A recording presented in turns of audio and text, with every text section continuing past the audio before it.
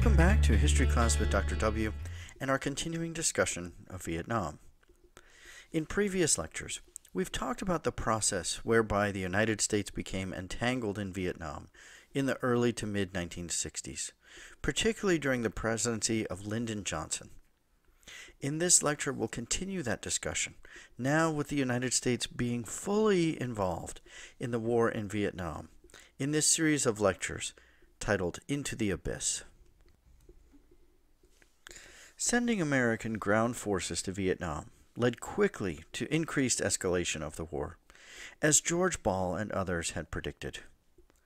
The Viet Cong were gaining in power, Americans were not safe walking even a few minutes outside of the major cities and military bases. The ARVN, meantime, were in a precipitous decline. Morale was low. Desertion rates and absenteeism were high. Officers were corrupt and disinterested.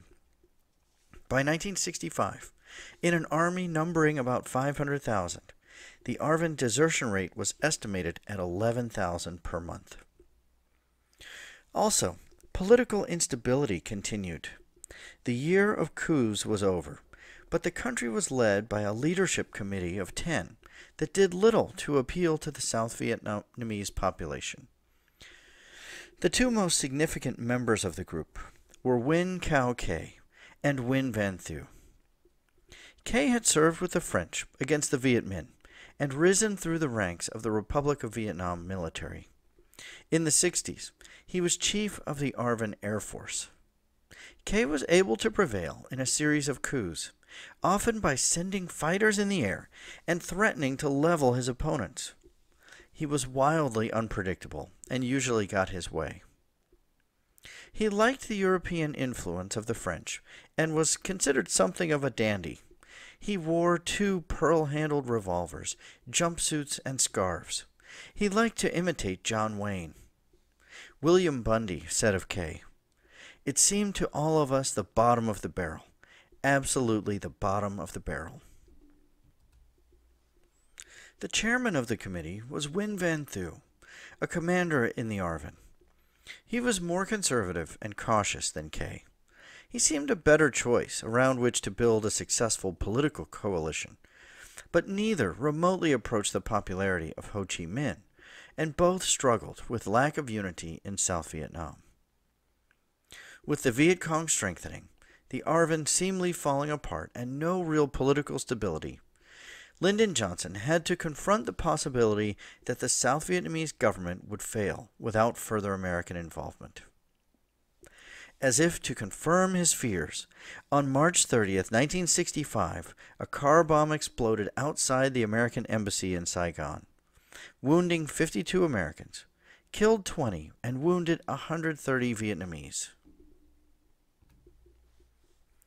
Johnson was determined not to lose Vietnam, so he authorized more troops and escalation of American military activity. By the end of 1965, American troop levels numbered 184,000. In 1966, it was 389,000. In 1967, 463,000. 1968, 495,000. And 1969, 541,000, before the numbers finally start to come down. In May of 1965, Johnson authorized Operation Mayflower, a suspension of bombing to give Ho Chi Minh an opportunity to negotiate for peace. Ho Chi Minh insisted that peace would only come when all American troops left South Vietnam and the National Liberation Front was allowed to participate fully in the government in South Vietnam. Johnson, of course, would not agree, and he would only pursue peace when all North Vietnamese troops withdrew from the South and with no involvement of the NLF in Southern politics. Within a week, the bombings resumed. With no sign of peace, Johnson had to decide how to proceed with the military operations. He settled on what was called the enclave strategy, which seemed a reasonable compromise between purely defensive operations and an all out attack. In this strategy, American forces would be concentrated around coastal enclaves. major cities and population centers near the coast in South Vietnam. From those centers, American troops would launch patrols up to a 50 mile radius. Essentially, they ignored the highlands and inland areas where they were thinly populated. They concentrated on securing positions near the coast. It is also at this time that the Congress approved an additional $700 million for troops, which Lyndon Johnson used as proof that the nation and Congress supported the war, and I mentioned this in the previous lecture. Also during this time, Johnson attempted to assemble an international coalition to help with the fighting, but this was largely unsuccessful. Britain and France believed the United States was getting into a very bad situation and urged some sort of settlement. In the end, only Australia, New Zealand, the Philippines, and South Korea sent small numbers of troops to assist. Otherwise, this was America's war. In the meantime, Westmoreland continued to seek more troops and more freedom in his actions. He didn't particularly like the enclave strategy and was concerned with the growing strength of the enemy in areas that they were not attacking. Johnson was frustrated and somewhat confused. He would later write of this period quote, The situation had reached the desperate point.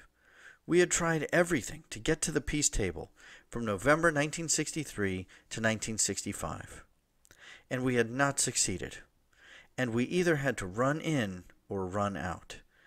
that last phrase is a very famous quote from this period.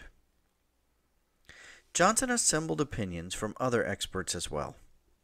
Robert McNamara urged him to listen to Westmoreland and the generals. Short of nuclear weapons, the most promising way to some kind of exit strategy was to bring every ounce of American firepower into play. There was still hope for a quick victory, while the Viet Cong was still relatively weak, but those hopes faded by the day. Johnson also sought the advice of the so called wise men, a group of elder statesmen reaching back to the presidencies of Kennedy and even Eisenhower, and in some cases even Truman, most of them agreed that the Vietnam situation had reached a point of no return. There was no withdrawal at this point. They had to press on and tried to achieve victory.